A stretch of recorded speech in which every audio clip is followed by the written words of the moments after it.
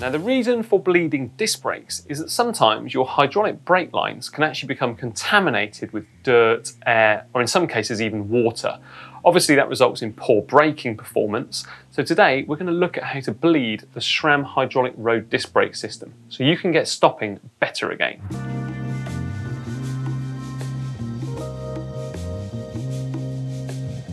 So what you are going to need is a bleed kit. So in this case, I've actually got a SRAM professional bleed kit. Uh, inside of here, I've got the DOT fluid oil, I've got the syringes, hose attachments, all the necessary things as well to space out the caliper and make sure we do the right job. Also, you're going to need a workshop towel or a lint-free cloth, some nitrile gloves, uh, isopropyl alcohol, and also a toe strap, or failing that, an elastic band. That'll come in very handy later on. So today I'm going to be bleeding the front disc brake. So first of all, I'm going to remove the front wheel and then remove the little clip that's on the pin there. And then with a two and a half mil hex wrench, remove that pin and then remove the pads. And then I'm going to put in there a little bleeding block. Now that block that I'm going to put in there is actually really useful because it actually stops the pistons from moving and potentially popping out if you were to touch the lever. So make sure you put that in there to keep safe. So this is where you really do need those nitrile gloves. First up, we're actually going to screw the bleed clamp assembly into the syringe and then we're going to fill it half full or as close to half full as you can get with the DOT fluid. So keep a good eye on that. And then when it's about half full, stop. And now, going to hold that syringe up this way with a shop towel just basically what we want to do is get rid of this air. So I'm going to gently force that up using the towel to catch any residue and remove those air bubbles. So you are going to have a little bit of fluid come out. Maybe give the syringe a couple of a couple of taps just to release any more air. Give those clamps a good wipe down and then lock the hose in position. So it's like that. So the next step is actually to remove as many pockets of air that are in this DOT fluid as possible. Now if you look at it, it doesn't look like there's any air in there, but there is. It does get trapped in. So how are we going to do it? Well, make sure that that clamp is still locked down and then gently pull the plunger.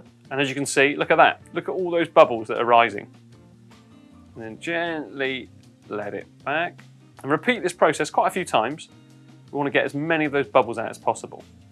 You may want to hold it and just flick it a few times just to get rid of them. Try and get rid of as many of those air bubbles as possible. It's going to help in the long run. So just be very patient with it. Just keep repeating. Then with the other syringe, you're going to do exactly the same, but fill it just quarter full. And then we'll move on to the next step. Now, a quick check to do is actually to measure that the blade of the lever is not more than 90 millimeters away from an imaginary line using the brake lever hood as a guide. If it is, then the bleeding procedure is just not going to work properly and you're not going to get effective braking. So if that lever's more than 90 mil, then just put a two and a half millimeter Allen key in there and just turn it and just bring that lever inwards and then remeasure. Make sure it's under 90 mil. So now with the corresponding brake lever, peel back the lever hood and then undo that bleed port screw. Keep it somewhere safe. And if there's any excess oil at all or DOT fluid, just, just wipe that away. Keep it nice and clean. Then you're going to want to thread the quarter full syringe into that bleed port. So next, we're going to remove the little bleed port screw of the caliper. In with the bleed kit, we actually get a little T10 key. So you're just going to want to remove that and then just wipe away any excess that may have popped out. And now with your half full syringe, simply screw that into the bleed port of the caliper. It's important you get them the right way around. So that's the half full one in there.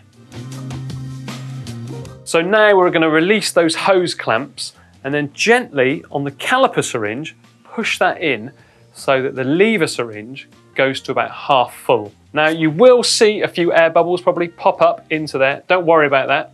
but just make sure it doesn't go any more than half full and then just lock down that clamp on the lever. So using your toe strap or elastic band, just hold the lever blade in up against the handlebar there. Make sure it's nice and snug and doesn't move. So now you're going to want to hold the syringe vertically like so and then gently pull outwards. As you can see, there's some air there coming out of the caliper. It's exactly what we want to be doing, removing all of that air.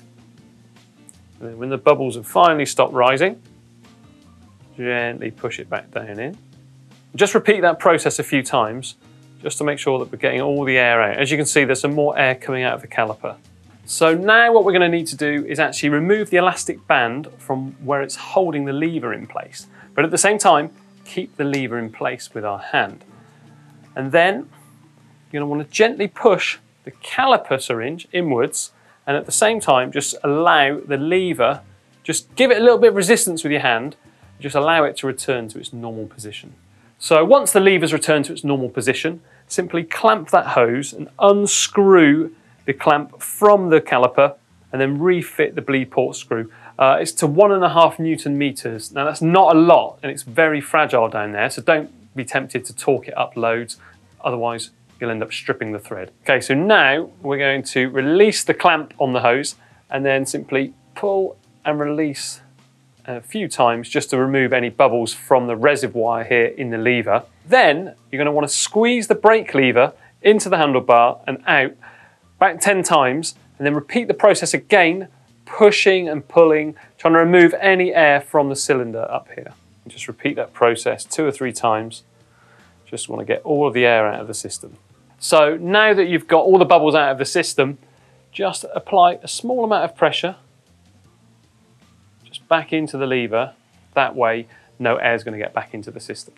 And then close off that clamp on the hose and then unscrew it and then refit the bleed port screw on the top of the lever.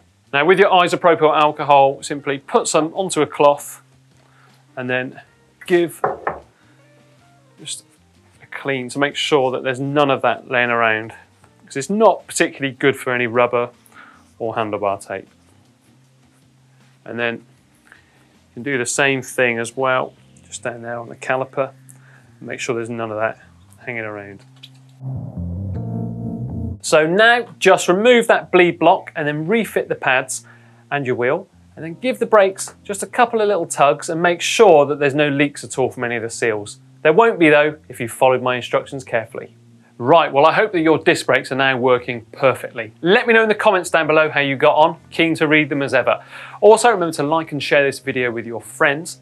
And if your disc brakes don't need bleeding, but just a little bit of TLC, click just down here to find out how.